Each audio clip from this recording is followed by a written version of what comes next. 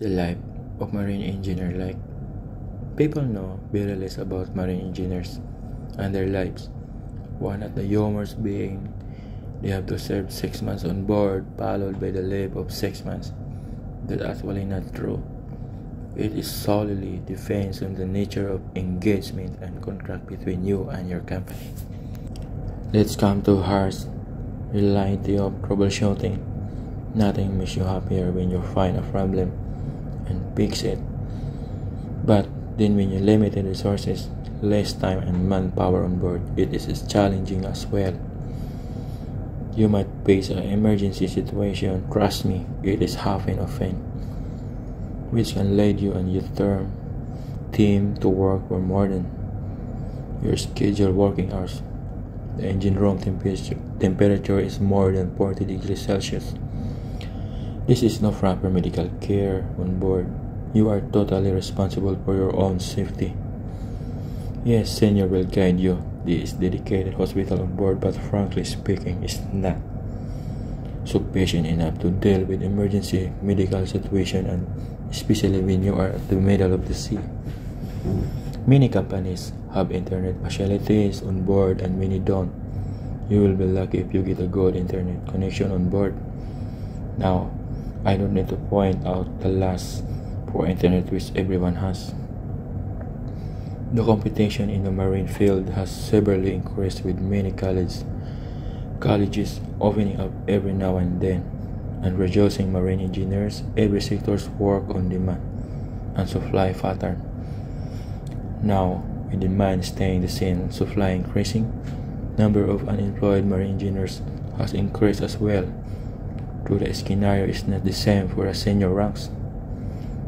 You won't be able to handle the profession if you are mama's boy and homesick. The sea is not always calm. You might feel seasick. I have faced rolling up to 30 degrees and trust me, that's routine for us. Gone are days when shift at the crew. Just enjoy the port stay and explore the ports. You have to offer for promotional exam unlike the core branches and that not everyone's cup at sea, at the when on vacation you feel a lot especially when your wife girlfriend is working and you have in 24-7 free time. And you don't know how to use it. Let's talk about the advantages of being a marine engineer now. You you get to, work with people from different countries, culture, races, background, and it makes you learn about many things about the world and its versatility. You get a better salary than your friends working to a regular 9 to 5 job, and yes, you can play to buy a better house and a better car. If you know how to enjoy life when you are alone and away from social media, you won't face too many difficulties when on board. You get a long holiday can plan things as per your will. You don't need to beg your superiors for medical leave or leave for your son's birthday if you plan well. Life becomes better if you enjoy the taste of frozen meat. Yes, you have to have frozen meat during your tenure on board. Sure jobs are, sure jobs are not difficult to get for marine engineers, but hey, remember you wanted a better house and luxury car as well. The port stay with us short, but you can still enjoy the time when you are in port. Marine engineering makes you confident, confident enough to face any challenges, be it on board or at home. You can be a good dad. You can send your son to good school and give him ample time during the vacation.